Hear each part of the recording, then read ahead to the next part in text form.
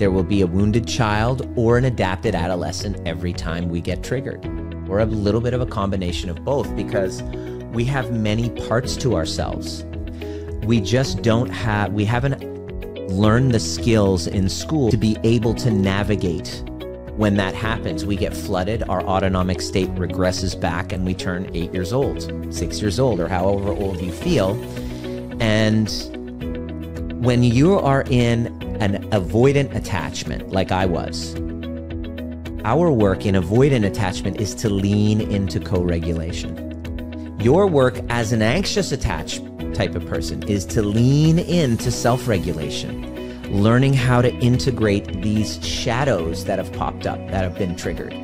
Which shadows? Your adapted adolescent and your wounded child. And so becoming trigger proof is the art of identifying what's come up for you um, and being able to drop in and release emotions you've been stuffing away from years.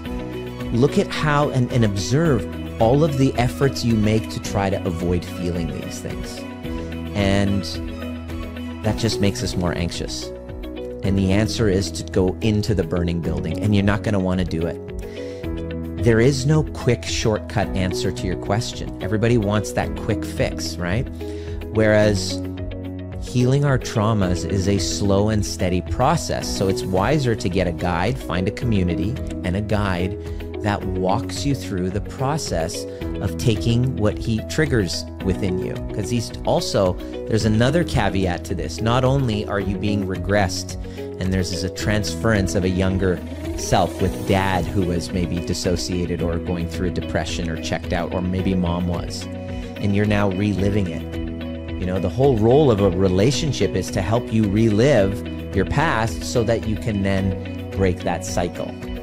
If we don't learn how to heal with those younger parts of us and show them safety and to resource ourselves and to create secure relationships with ourselves, we then keep repeating these patterns again and again and again.